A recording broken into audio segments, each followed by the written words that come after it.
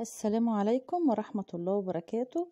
ازيكم جميعا؟ عاملين إيه؟ رب كلكم تكونوا بخير. عندنا عزومة جامدة جدا النهاردة. آه بس عزومة حلوة كده والناس حبايبنا هم اللي طالبين الأكلة دي مننا. آه بيحبوا ياكلوها معايا أنا وأم عمر.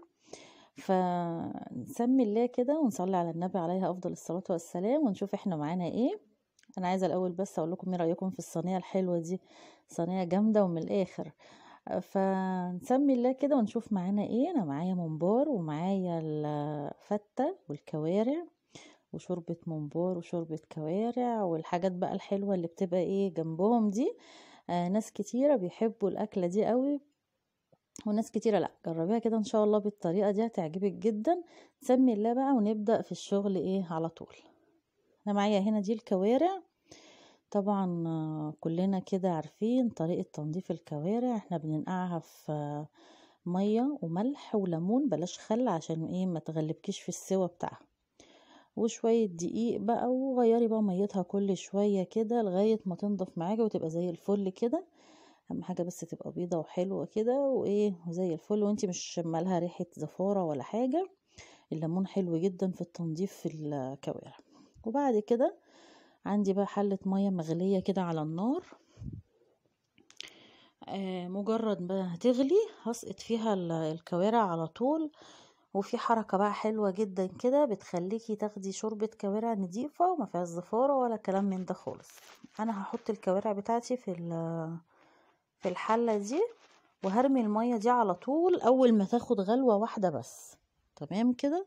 يبقى أول دور في الكوارع هنرمي المية بتاعته وبعد كده هنحط مية مغلية جديدة. بس مية مغلية مش مية من الحنفية. كل الحاجات اللي أنا بقولك عليها دي علشان ما تأثريش على سوى الكوارع وتتعبي في إيه في سواها. المهم هن هتاخد غلوة إن شاء الله ونغير ميتها كده مع بعض ونشوف هنحط في الشوربة بتاعتها إيه. هي غلوة واحدة كده بس وهنرمي المية دي. عايزة أقولك كمان هنا أنا رميتها يعني رميت أول دور وحطيت بقى بالكتل ميه سخنة جديدة وهبتدي أحط بقى إيه حطيت ملح حطيت لا ما حطيتش ملح حطيت الفلفل الأسود وحطيت حبهان وورق اللورة. بس هنا معلش المقطع ده جه قبل ده. حطيت بقى هنا ده كان رميت المية بتاعتها خلاص وابتدي بقى إيه أحط بقى الحاجة الجديدة. حطيت البصلاية كده. وببتدي أحط المية السخنة. بس هو بقى مقطع سبق مقطع معلش سامحوني. آه المية تغلي كده. وأحط بقى بقية الحاجة بتاعتي. آه البصلاية ورق اللورة والحبهان. عندك كبابة صيني صحيح حطي أه الحاجات دي كلها بقى اللي إحنا عارفينها بتاعت شوربة اللحمة عادي. تمام كده؟ أه وانتي بتجيبي الكوارع لو عايزة حاجة تكون سنها صغير هاتي اللي هي فيها نقطة زرقاء من فوق. أه هبقى اوريكم في مرة إن شاء الله عشان دي كانت متقطعة فمعرفتش اوريها لكم. المهم وهسيبها بقى تعيش حياتها كده في السليق معايا بعد كده ده إيه؟ ده الطحال. أنا هنا ما شاء الله عشان العدد كان كبير. فجبت الطحال اللي هو العجالي ده. آه في الطحال الضاني بيبقى جميل جدا بس إحنا كنا عايزين نجيب علشان العزومة كان عدد الأفراد فيها كتير فقمنا جبنا بقى الإيه الطحال الكبير ده. جبته ونضفته وقشرته على فكرة في ناس بتحب تقشره بعد السليق. لا أنا بقشره قبل السليق عادي. قشرته كده ونضفته من بره وحطيته يتسلق طبعا بقى بحاجات حبهان ولورا والحاجات دي كلها وكل ده بيترمي. واتسلق وبقى معايا زي الفل اهو هو لازم يكش كده شوية.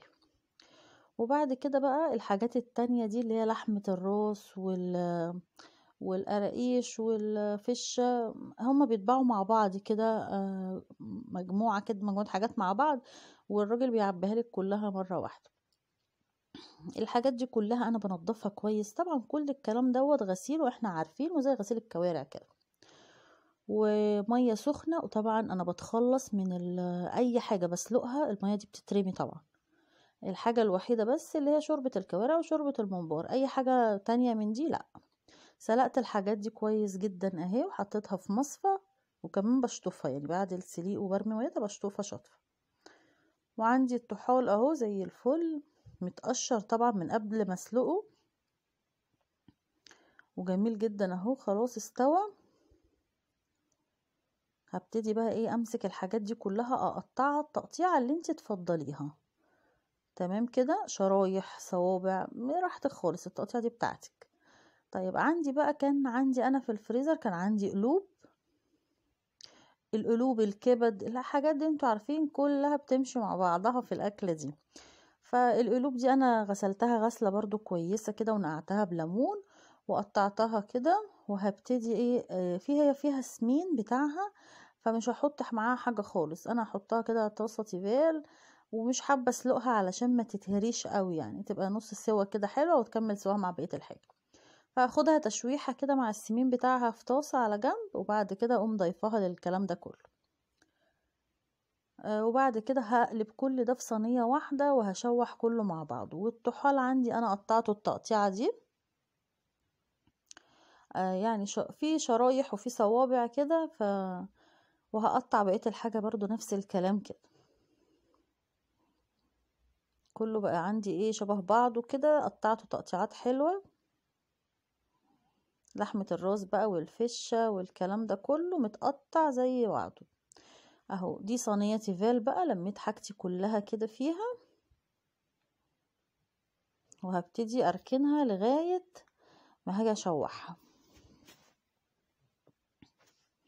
حاجة تيفال كده علشان ما تلزقش وعلشان تتشوح معاكي. حلو. عايزة تشوحي شوحي. عايزة تحطي تحت الشواية حطي. هنا بعد كده طبعا خلطة الممبار. الممبار طبعا اتقلب واتكحت وبقى زي الفل. طبعا ما مرضتش بقى أجيب لكم الكلام ده كله. أنا جبت معاكم بس الخلطة. الخلطة ني في ني طبعا الممبار بالذات لازم يبقى ني في ني. ما ينفعش مسبك ما بيبقاش حلو طبعا. المهم قطعته كده وعملته صوابع وسط. أنا عن نفسي بحبه صغنن قوي بس ال... بس أنا عارفة إن اللي جايين بيحبوه الحجم ده. وحلة مية مغلية كده على النار وهبتدي اسقط الممبار بتاعي في الحلة. أول ما هينزل هيستوي كده. طبعا الشوربة دي فيها بصلاية فيها حبهان. غير بقى إن الممبار بقى والخلطة والبقدونس والكلام دوت هينكه لي الشوربة هتبقى جميلة جدا. هنزل كده الممبار بتاعي كله وهسيبه برضو في الأول أكون معلية النار بعد كده تهدي النار علشان ما يفرقعش منك ويستوي براحته. وكده كده بينزل بقى في الشوربة كده شوية رز بس طبعا مش كتير لأن إحنا مش إيه مش حاشين الممبار على آخره يعني. وهسيبه بقى يستوي ويعيش حياته كده مع نفسه وهشوف برضو هكمل أنا إيه. ما تقلقيش خالص الناس اللي بتخاف إن هو يتفتح في الشوربة ولا حاجة لا علي في الأول ومجرد ما تنزليه قومي موطية عليه عمره ما هيفرقع. وبعمله كده وبقلب فيه براحتي ولا بيجراله أي حاجة.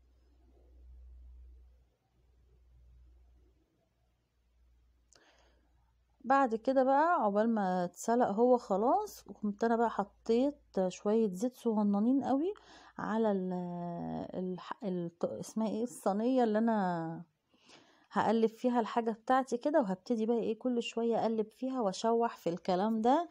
آه بتبقى كده بالطريقة دي تحفة طبعا. وتحت الشواية برضو مش وحشة بس قلت بقى هحط في الفرن وكل شوية هخرج لا الطريقة دي حلوة. بصي بقى الممبار ما شاء الله حلو جدا. خلاص هنا كان استوى وتمام قوي. بصي بقى الشوربة بتاعته تحفة.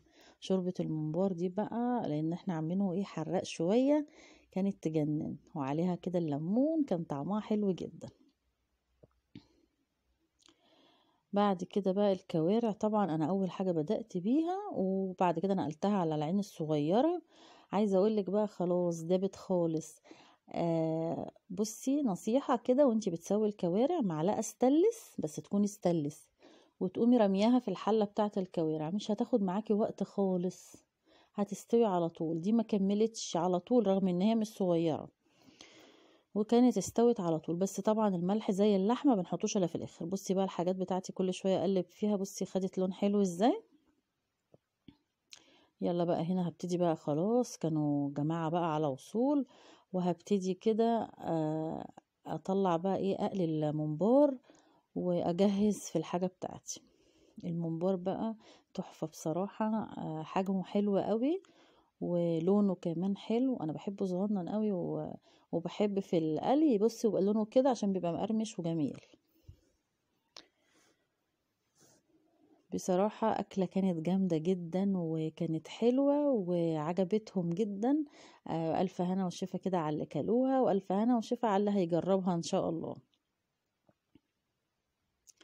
إن شاء الله كده تعمليها كده بالتكات البسيطة اللي أنا قلت لك عليها دي وتطلع حلوة معاكي وتحبيها إن شاء الله. آه يا رب كده يكون الفيديو عجبكم. آه هنا بقى أنا دي طشة التوم. أنا بحب بقى شوربة الكوارع أعمل لها طشة توم اللي بيحبوا يشربوها عندي متعودين يشربوها عندي كده خل وتوم بس وأقوم قافلة الحلة على طول بعد ما تكون الكوارع استوت. وبقيت الطشة دي بقى على الرز عملت بقى إيه الصينية الجامدة دي آه يا رب كده زي ما عجبت ضيوفي تعجبكم آه والفيديو بتاعي كده لغاية هنا خلص. أشوفكم بقى في فيديو جديد على ألف خير. وقبل ما تخرجي من الفيديو لو عجبتك الطريقة ما تنسينيش بقى في ال like وتشتركي في قناتي وتنوريني. يلا بقى أشوفك في فيديو جديد على ألف خير. سلام عليكم.